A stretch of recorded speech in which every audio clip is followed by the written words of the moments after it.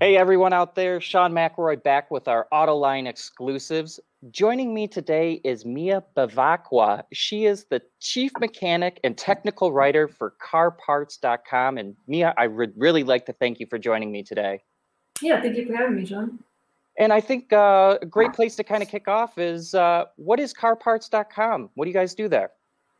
Yeah, so carparts.com is an aftermarket parts and uh, technology company. And um, we have parts for everything from classic cars to electric vehicles, and um, you know, right now we're we've actually launched a a whole new uh, hub page uh, for EVs. So um, we appreciate the vehicles of the past, but we're also looking uh, towards the uh, vehicles of the future. So.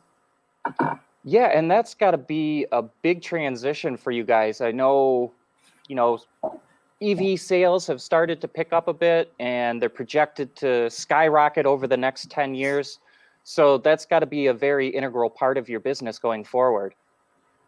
Yeah, definitely. Um, you know, I mean, as everyone knows, you know, General Motors is uh, saying they're going to go to all electric by uh, 2035, and you know, a bunch of the other automakers, uh, Jaguar and um, Nissan, and select uh, markets. And so, um, yeah, the EV uh, onslaught is coming. And, um, you know, carparts.com, um, right now we already do have components that, um, you know, the components that you would have on a traditional vehicle, such as, you know, wiper blades and uh, brake pads, things like that. We already have um, those components for uh, most EVs. You know, if you have a 2015, you know, Tesla Model S, you can you can come to uh, carparts.com and get uh, brake pads and wiper blades and a cabin filter, you know, those kinds of things. Um, so, uh, yeah, and I think that uh, not just carparts.com, but the aftermarket in general, you know, it's going to get uh, to be um, more and more parts dedicated towards uh, hybrids and EVs, not just the parts that would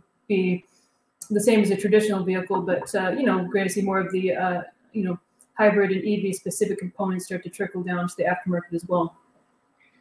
Yeah, I mean, one of the big things with EVs that everybody always kind of points out is the the less required maintenance on something, but you know, I'm always there to point out that they still have brakes, they still have suspension, there's still potholes in the road. Yes. So there's still pl- plenty of parts and pieces that people are going to need. Yeah, exactly. And um, yeah, I mean, maintenance wise, um, they don't have as many fluids, and of course, you don't have the spark plugs to deal with and things like that with the pure EV. Um, but they do have uh, they do have upkeep, um, like you mentioned, you know, brakes and suspension components and things like that. Of course, the brakes don't usually wear out as fast because you have regenerative braking, but um, yeah, um, they're still uh, going to need upkeep, even though they might not have oil to change and uh, spark plugs to replace and those things of that nature. They still do require upkeep. And I'm really curious kind of about like the critical systems of EVs, motors, batteries, that sort of thing. I, I if I'm not mistaken, I know like Dorman, an aftermarket part supplier, I believe has had hybrid batteries available for some years now. Mm-hmm. Have you seen uh, do you guys offer those sorts of parts or are you starting to see a bigger uptick in uh, sales of parts like that um, so um, we I have just on board Dorman. I'm not sure, sure if we're going to carry the uh, the uh, high voltage batteries yet. Um, I can uh, uh definitely uh, check and, and, get back to you on that. Um, I was actually asking the uh, the um, product team the other day. I'm like, hey, we're going to get these, you know, Dorman batteries and stuff. So, um, and also. Um, I'm on the marketing team, so you know, as far as like what um, we're seeing uptick in sales with in um, EVs. I'm not sure of the numbers yet, or like if we're seeing a great increase yet. But um, you know, I think that, like I said, the aftermarket in general is going to see a, a, an increase in the future. Um, so. Yeah, one of the reasons I ask about batteries is I'm particularly interested in that, uh, in, in mainly the customer's view on something like that. Um, I know like battery swapping programs have been brought around over the years, but they never really took off. And one of the main reasons for that was that people didn't want a used battery. They didn't want something that they perceived as old or had already had hours put onto it. So that that was one of the reasons why I was curious about um, if you had considered Dorman or any of those other suppliers with the aftermarket batteries. Yeah, personally, like um, you know, um, I was actually looking at these uh, Reman batteries the other day, like, because I was looking at, uh, I don't know, I was, I've been like toying with the idea of getting, you know, I had a Gen 1 Prius um, that uh, it didn't run when I got it, and uh, actually the battery was good, but I replaced the uh, the motors and the inverter, know, the motors and the trans and the inverter. And I drove that for a few years. And now I don't have, uh, I don't actually have a hybrid EV. So I've been looking at getting another project one. I was thinking about the Leaf, and no one makes a Reman battery pack for that yet, at least not to my knowledge. So, um, you know, I was thinking about uh, looking into that. That'd be great if that becomes available. You can get like the individual modules, but not the whole battery.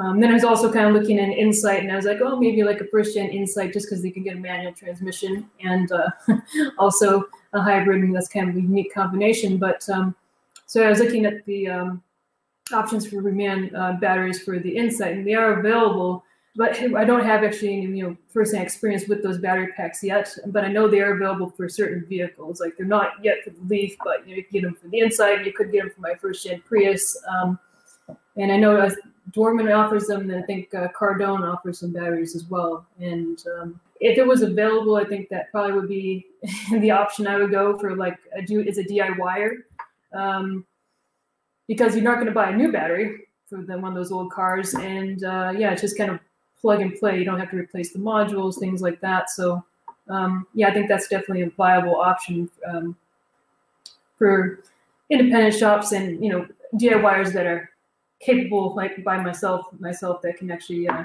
do the work on hybrids and EVs. Well, you mentioned DIYers, but how about like dealer techs and independent techs? Do you feel like they're ready for this EV and hybrid revolution that's coming? Um, you know, at the dealership level, they do have, um, you know, some in-house training, of course. Um, but I think the automotive industry in general is not uh, ready for the um, for these EVs, the growing number of EVs. Um, and I think the reason for that is, uh, well, there's a few reasons for it. And you know, I actually had an interview um, last week, uh, and one thing that um, person reminded me of is that the automotive industry in general kind of um, is kind of reluctant. Technicians are kind of reluctant sometimes to want to get into the new thing. You know, when fuel injection came out, they didn't, you know, versus carburetors, it was kind of a thing. They didn't want to be bothered with the fuel injection, the computer control. So there's always like that, uh, you know, I get comfortable working on carburetors. I get comfortable working on, you know, um, you know, drum brakes. It's like, um, why would I want to um, branch off into something new? Um, and then there's also the fact that, you know, that's kind of compounded by the fact that, uh, you know, technicians um, really, I feel, are undervalued and uh, underpaid. Um, you know, I was just looking on doing a Google search, and the average uh, pay for a technician is $40,000 compared to the uh, average national average, which is 50,000. And technicians have to uh, supply their own tools, which cost tens of thousands of dollars. And, um, you know, it's hard work too. And uh, then there's also uh, the stigma that that goes with it. Like people um, don't give technicians enough credit. I mean, those things are going to actually like they you know they hinder the motivation. They they don't um, people aren't going to be motivated to learn EVs if they're making you know can barely scrape by, and uh, you know people don't give them the respect that they should. It's like you know they're not. Um, yeah, I feel like and, it, it's. Uh, yeah. I feel like it's not only the pay; it's just like the general view of the industry in general. Yeah, exactly. Uh, yeah. Uh, it, it's it's still viewed as break your knuckles, get your hands dirty every day. You're you're gonna go home with a sore back. When in reality, it, it there are parts of it that are that, but that's not the total scope of it. Um, you mentioned pay and stuff like that too, because uh, I, I can't think of any other industry where you need the schooling to go for it, but right out of the bat, after paying for all that schooling, you've got another you you say tens of thousands of dollars. I would say it's easily 10 to 15 grand just to get the basic tools to work on cars. And then when we're talking about EVs and everything here, those basic tools will get you, you know, your oil changes, your suspension, your spark plug changes. So yes, there are some uh, similarities between ICE and EV cars, but then on top of that, and I'm sure you've seen the transition just as I have, of where cars were very, very basic. and now they're they're much more complicated you have to know the computers you have to have the right diagnostic tools to do it and there's just this huge roadblock i'll call it of i think uh, attracting young people into the industry and you know i guess my question for you would be is there anything that we could do as an industry to maybe attract younger people and show them that hey this isn't you know the work that your grandfather did way back when you you need to have this this this technical knowledge this educational knowledge of how to work on these vehicles. Yeah um, so that kind of goes back to you know like what you're saying like people um, they, they view technicians as as uh, grease monkeys and that's totally not true especially when it comes to today's vehicles. And um, I don't know how I would go about it, but yeah, somehow, um, you know, we need to convey the fact that uh, nowadays technicians are like half electrical engineer, and we need to give them the credit where credit's due. Um, and I think um, coming even at the uh, trade school and the uh, you know technical college level, there needs to be more training on these high tech vehicles. And I know there are, you know, it is getting better in that respect. Um, but you know there's still a lot of programs that aren't focusing on you know computer controls electronics hybrid vehicles electric vehicles and they're still doing stuff like uh, rebuilding wheel cylinders and stuff. And it's like you know, the training needs to be there um, the respect needs to be there and uh, the compensation needs to be there. And um, i think we have a long way to go. Yeah i'll say uh, I was a tech for many years, and I'll say even when I was still working, I was going to, I don't know, as little as four classes, but as many as maybe 12 a year on very specific systems like learning the uh, evaporative emissions of a Toyota Sienna minivan. That you know, that was just one class where you you grind down into those those little little itty bitty details that you know, I think is sometimes missed on people. Uh, you know, we've done a number of shows where uh, there's been studies and programs that have shown uh, different programs like uh, even 3D printing. 3D printing has been a great way to get younger people involved in different aspects of the auto industry. And I would love to see more stuff like that, just creative ways of showing people that hey, you've got to yeah. be able to hook up this tool and understand an, a, an electrical waveform and tell me whether this part is good or bad. I don't think a lot of people quite understand that that's part of uh, what mechanics and technicians do.